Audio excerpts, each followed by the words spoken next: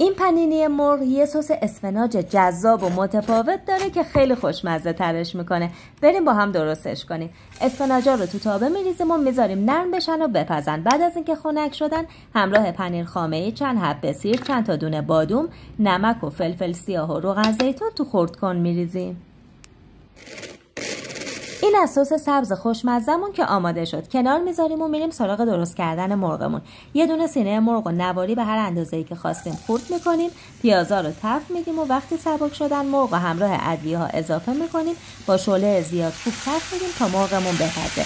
اصلا نذارید آب بندازه که بافت نرمتری داشته باشه. قارچ و فلفل دلمه رو هم اضافه می‌کنیم و تف میدیم. در آخر یه مقدار خامه میریزیم یکم جوز هندی رو شنده می‌کنیم و بعد از مخلوط کردنشون رو هم پنیر پیتزا رو اضافه می‌کنیم. در تا برای یکی دو دقیقه می‌ذاریم. پنیرا که آب شد این ترکیب خوشمزه آماده است.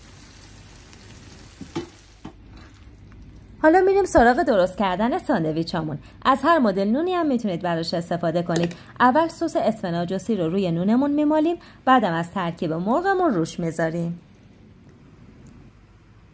در آخرم یه لایه پنیر چدار روی هر کدوم می‌ذاریم و کار ساندویچمون تمومه.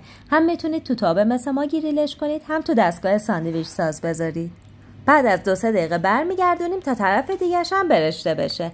اینم از پنینی مرغ و اسفناجمون که آماده شد. روش باید همینقدر ترد باشه و توش هم همینقدر جذاب. مطمئن باشید میشه یکی از پرطرفدارترین غذاها تو خونتون انقدر که خوشمزه است.